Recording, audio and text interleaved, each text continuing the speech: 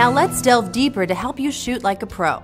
There are four basic components to a good photo exposure, aperture, shutter speed, and ISO. The exposure is a picture that is created as light passes through the shutter opening when you press the shutter button to take the picture. If the exposure comes out darker or lighter for whatever reason when the flash was not used, you can use the exposure compensation feature to improve your image. The exposure compensation feature can be used in most of the creative zone modes.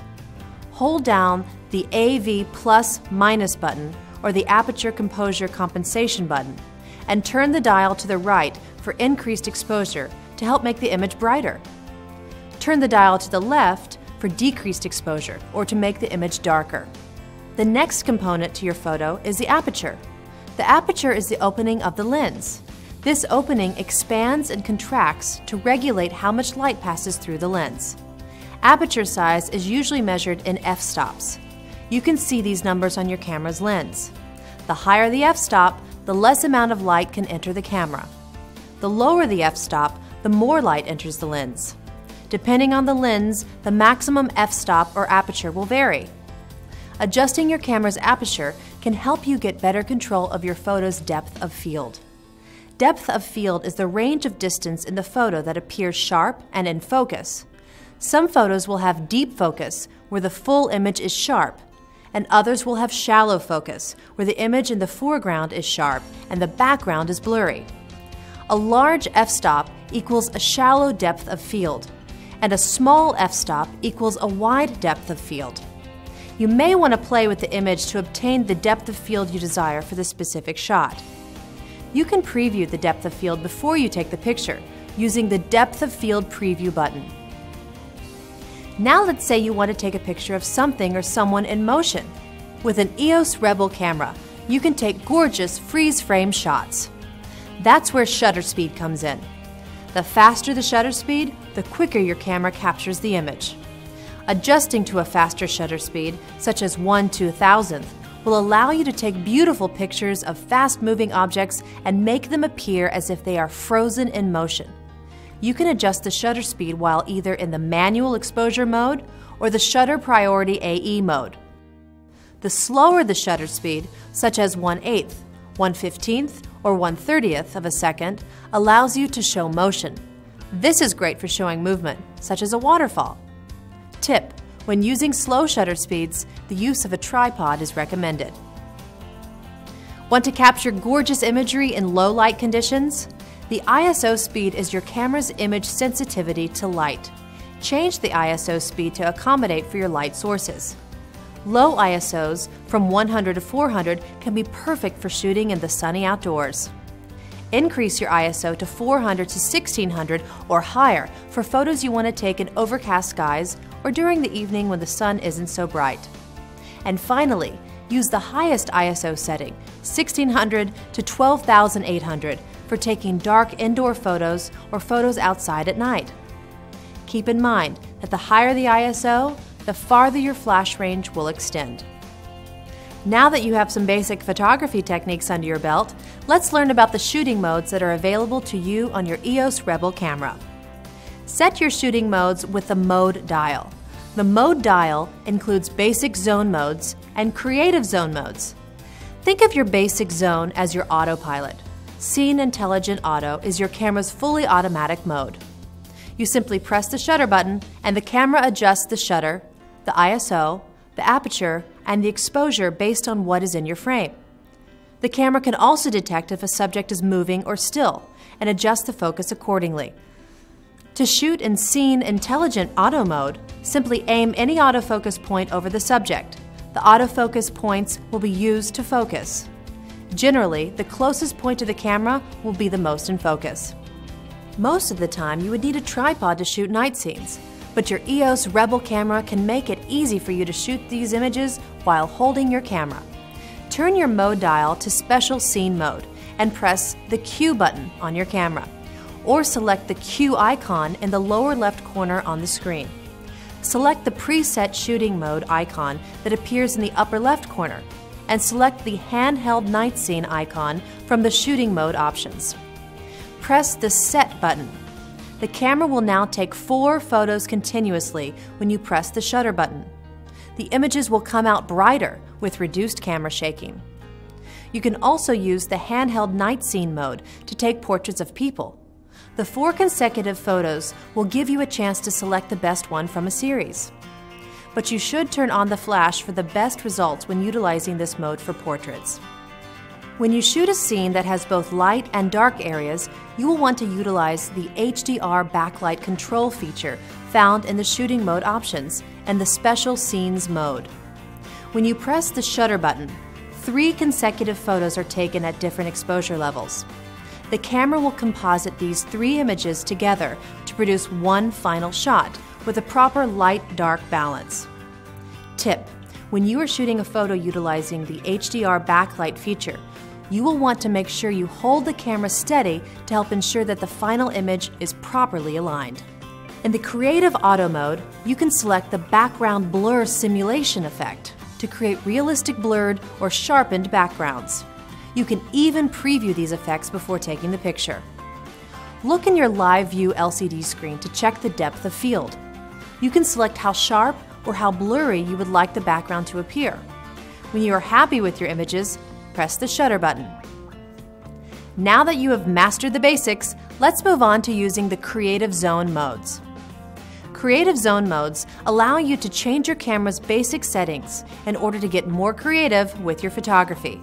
These modes give you more control when you shoot various subjects. The P setting on your mode dial allows the camera to automatically set the shutter speed and aperture to adjust for the subject's brightness. As you look through the viewfinder, press the shutter button down halfway. The autofocus points for focus will turn red briefly. The focus confirmation light will light up. The shutter speed and aperture will set automatically for you. Want to take a picture of a person or object in motion as we discussed earlier?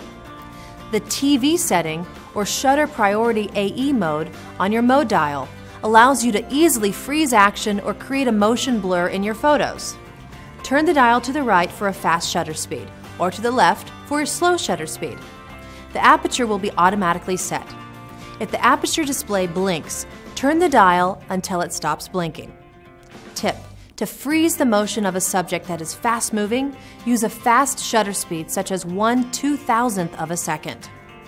To blur something like running water, use a slow shutter speed, maximum 1 30th we recommend using a tripod to obtain the most steady images. Next, the AV setting, or Aperture Priority AE mode, on your mode dial allows you to change your subject's depth of field. You can utilize this function to make everything in your photo blurry, blur out the background or foreground, or make everything in your photo really sharp. Set the desired aperture by turning the dial. Remember, the higher the f-stop, the wider the depth of field, for a sharper image in both the foreground and background of the photo. Lower the f-stop to control the parts of the image that are in and out of focus for a more sophisticated photo.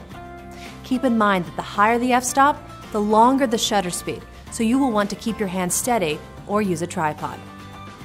Depth of field can also vary depending on the camera lens you are using. Now let's advance to manual exposure, or your camera's M feature on the mode dial you can set the shutter speed and the aperture manually as you desire to obtain the shot you are looking to achieve. To set the shutter speed, simply turn the dial. To set the aperture, hold down the AV button and turn the dial. Now, focus the subject and take the picture. While you're in one of the creative zone modes, you can also manually set your ISO speed. In the basic mode, your ISO is auto and can't be changed. To change your ISO speed, press the ISO button on your camera. Then press the cross keys to select the ISO you want. Want to add some cool effects to your photos? Creative filters are a quick way to add a little style without having to utilize a photo editing program on your computer.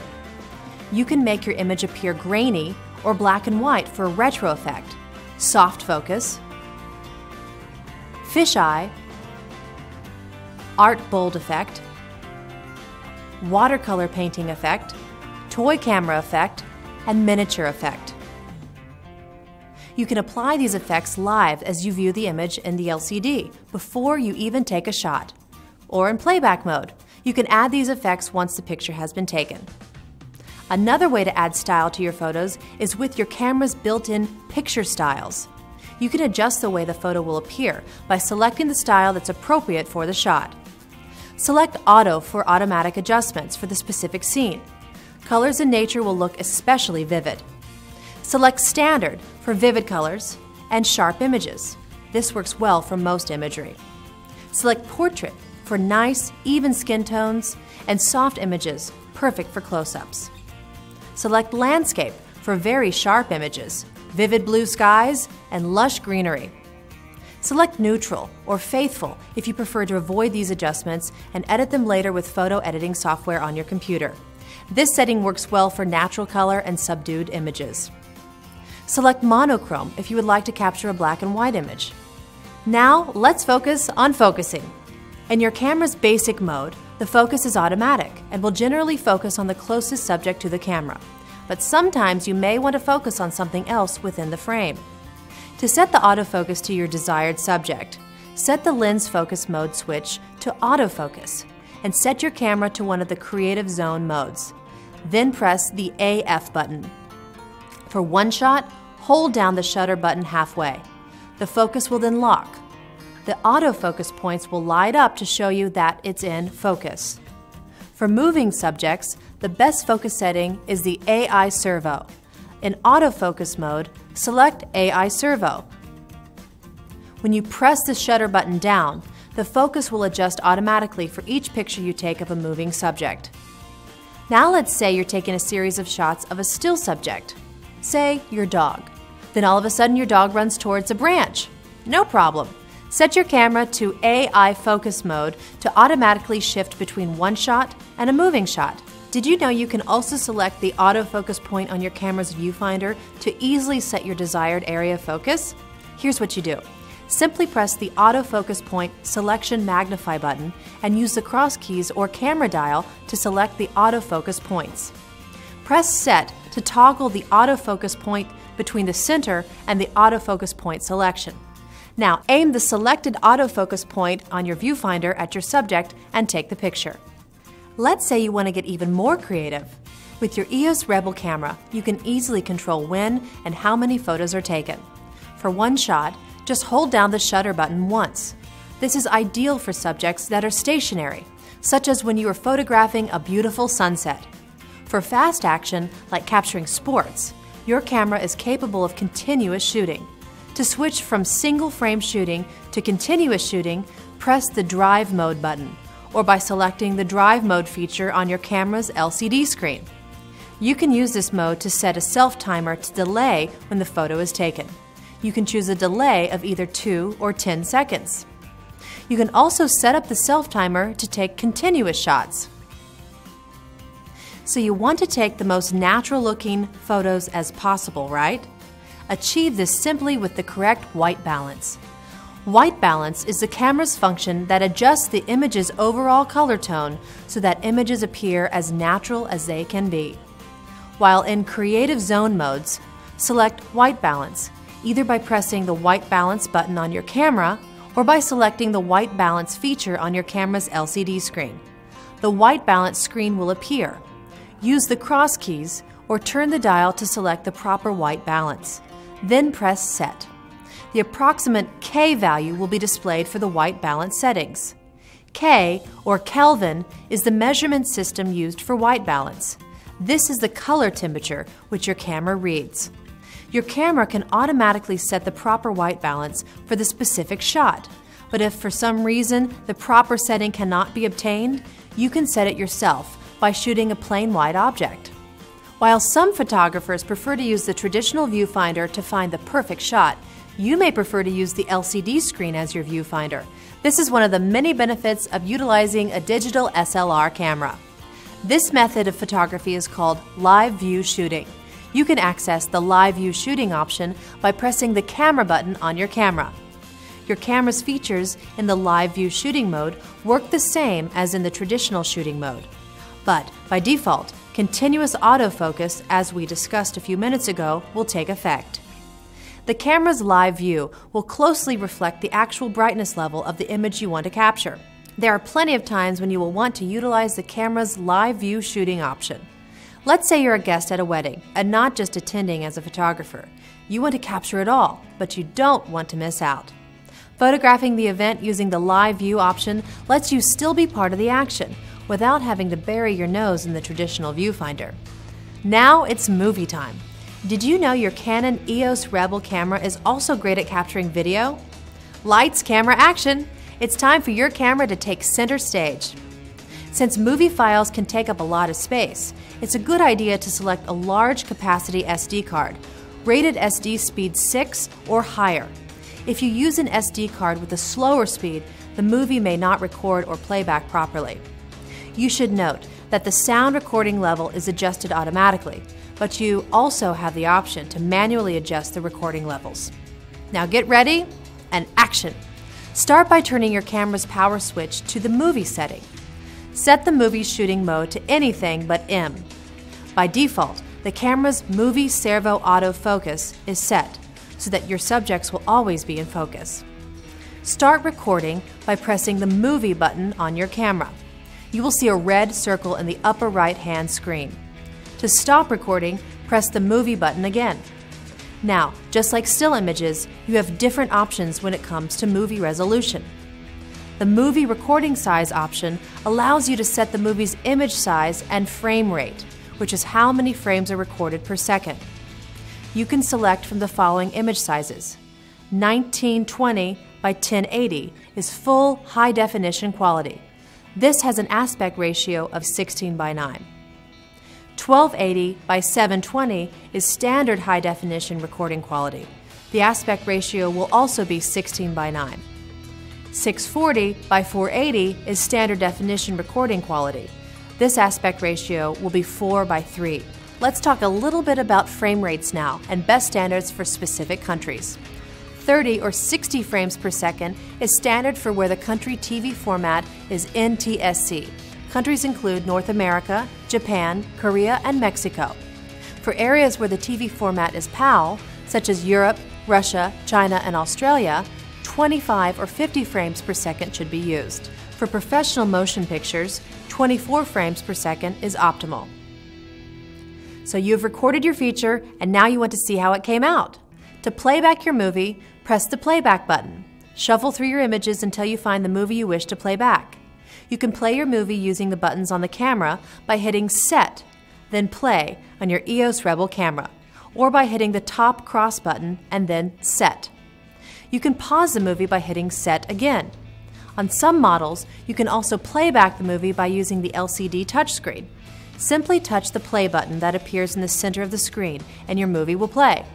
To pause your movie, tap the screen again. Since your EOS Rebel camera records in high definition, you can also enjoy playing back your video directly on your high definition TV screen. You can purchase an HDMI cable, sold separately, to connect your camera directly to your TV screen or computer for easy viewing. Are you ready to look beyond? You took a glimpse inside your new Canon EOS Rebel camera, its important features and buttons. You now have a good handle on image quality, focusing, playback, exposures, ISO, aperture, shutter speeds, shooting modes, and more. You even learned about filming movies. So are you ready? What do you see? No, what do you really see? Go ahead, explore, look beyond, see the beauty, and capture it.